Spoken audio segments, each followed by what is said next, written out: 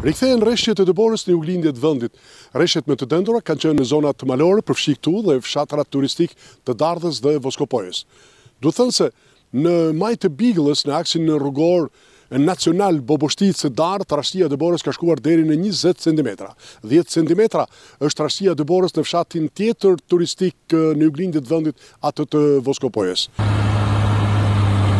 Sipas autoritetit rajonal rrugor në Korçë nuk ka pasur probleme në qarkullim në akset e fshatrave turistike të Dardhës dhe Voskopojës. Firmat kontraktore kanë bërë kriposjen e këtyre akseve rrugore gjatë natës, duke i mbajtur ato të qarkullueshme. Por probleme paraqiten në aksin rrugor Vithkuq-Shtyllë-Mashkullor, ku edhe trashësia e borës ka qenë më e madhe.